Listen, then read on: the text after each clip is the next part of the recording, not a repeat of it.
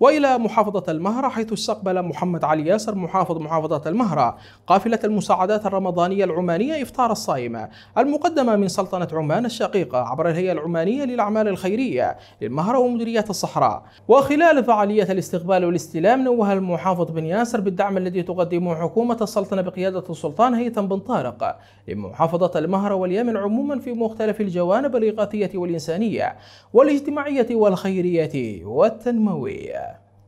you